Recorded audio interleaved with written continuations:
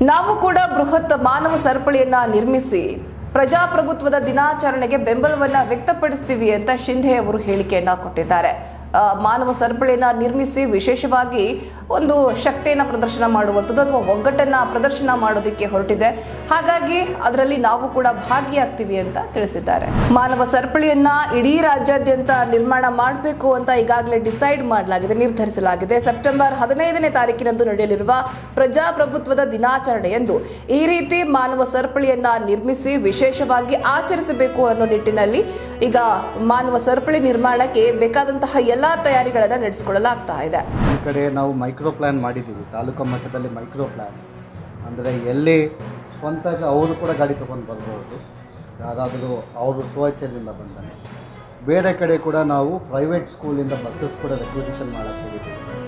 ರೆಕ್ವಿಸಿಷನ್ ಮಾಡಿ ಮತ್ತು ನಮ್ಮ K S R T C ಅವರಿಗೆ ಕೂಡ, ಅವ್ರ ಎಂ ಡಿ ಕೂಡ ಮಾತಾಡಿದ್ದಾರೆ ಡಿ ಸಿ ಸರ್ ಅವರಿಗೆ.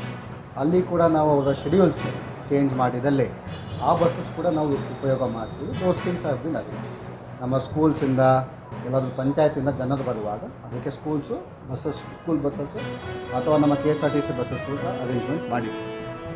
ಅದ್ರ ಜೊತೆಗೆ ಬೇಸಿಕ್ ಎಮ್ಯುನಿಟೀಸ್ ಹಾಂ ಸಂಡೇನೂ ಇದೆ. ಅವತ್ತಿನ ದಿವಸ ಭಾಳಷ್ಟು ಕಡೆ ನಮಗೆ ಸ್ಕೂಲ್ಸು ಕಾಲೇಜಸ್ಸಿಗೆ ಹೋಗೋದು ಒಂದು ಪ್ರಸಂಗ ಬರೋಂಗಿಲ್ಲ.